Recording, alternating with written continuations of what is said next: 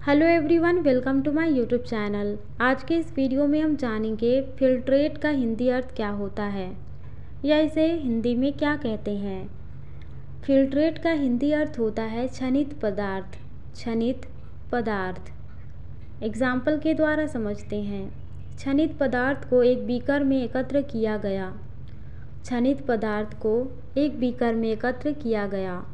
The filtrate was collected in a beaker. इसी के साथ आज के वीडियो में बस इतना ही। ऐसे ही डेली वर्ड्स मीनिंग जानने के लिए चैनल को सब्सक्राइब ज़रूर करें। Thank you.